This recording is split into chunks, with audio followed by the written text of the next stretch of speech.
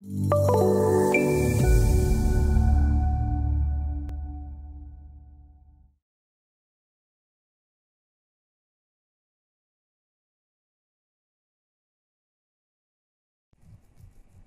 to this next session on adding floors. So in this session, we're going to actually add a floor to our project tree.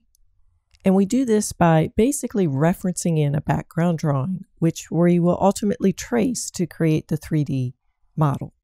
We'll also take a look at managing these views and the display. So let's start by adding the ground floor of the building.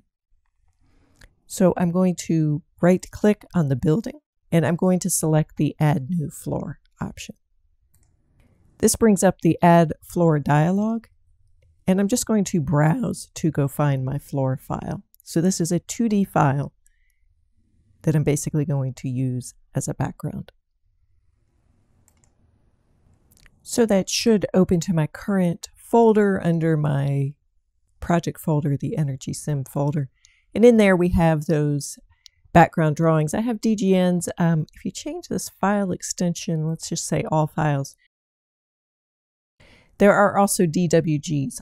You could use either one. So pick one of those. Essentially, they're the same background. So I'm going to select the lobby floor plan 00, the DGN file, and I'm going to select open.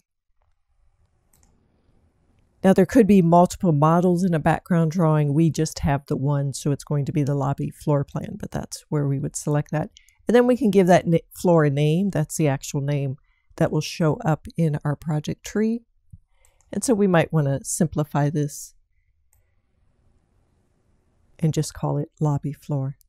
And its level is the zero elevation.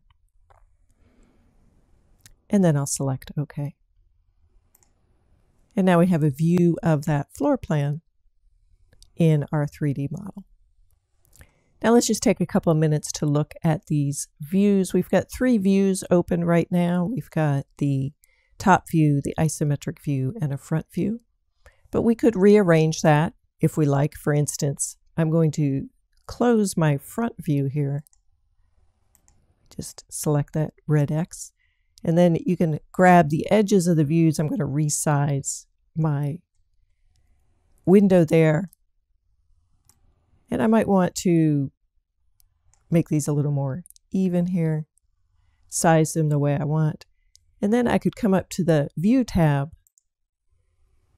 And here I have some view tools, and I'm going to select this one, Arrange, which will basically just use the arrangement that I have. You could, of course, cascade your views or tile them as well. And then across the view are a number of tools. For instance, the Fit View tool here would allow us to fit that view. But of course, we also have zoom in and out, which can also be done with the wheel. Just a, a scroll of the wheel will zoom in and out. Once you have your views set the way you like, you might want to come up here and do a save settings. That means the next time you open the file, the views will be set the way you've, you've left them here. That can also be done with a Control F on the keyboard.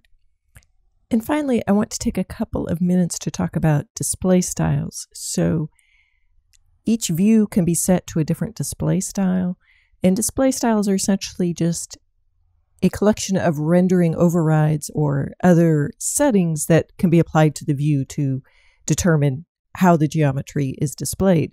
Currently, these views are set to just a basic wireframe. But if we open the second pull down on the view, you'll see that there are a number of different display styles. And we've actually set one up for this training for Energy Sim, and it's called the example Energy Sim modeling. So I'm going to select that display style, and you can see how that changes our view. We get the white background. It's a little more transparent. It's going to make it a little easier to see what we're doing when we're in the 3D model. And I'm going to change my ISO view to that as well. And then again, once I've made that change, I'm going to use the Control F on the keyboard to save those settings so the next time I open the file, that will be all set up. So if we take a quick look uh, back at our project tree, you'll see that we now have this first floor, the lobby floor, under our building. And in the next session, we'll start adding rooms to that floor.